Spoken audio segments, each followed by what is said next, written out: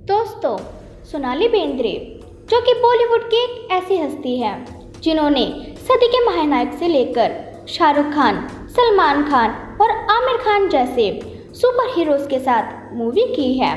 सोनाली को कभी एक्ट्रेस बनने का शौक नहीं था।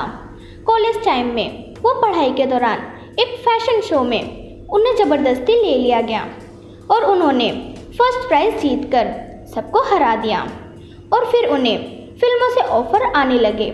और मीडियम क्लास की लड़की कब इतनी बड़ी स्टार बन जाएगी, ये कोई नहीं जानता था। किस्मत कब बदल जाए, ये कोई नहीं जानता। ऐसे ही किस्मत बदली सोनाली बेंद्रे की। उन्हें हाई ग्रेडेड मेटाकाइटेड कैंसर हो गया। और अब वो अपना इलाज न्यूयॉर्क में करवा रही हैं। और डॉक्टर्स ने बताया, सोनाली इस समय कैंसर के लास्ट स्टेज पर हैं। और उन्हें बताया, इस दर्द के कैंसर में बॉडी में कुछ अजीब हरकतें होती हैं, जिससे दर्द भी बहुत ज़्यादा होता है।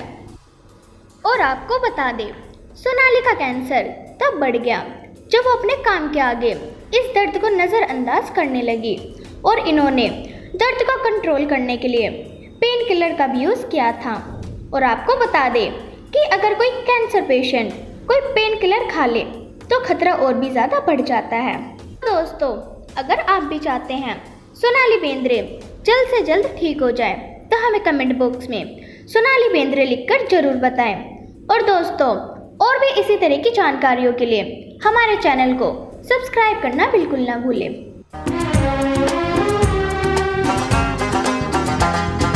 रंग ना देखे रूप ना देखे ये जवानी थी धूप ना देखे। अर्ज़ है कुछ मजनू बने, कुछ रांझा बने, कुछ रोमियो, कुछ फरहाद हुए। इस रंग रूप की चाहत में जाने कितने बर्बाद हुए।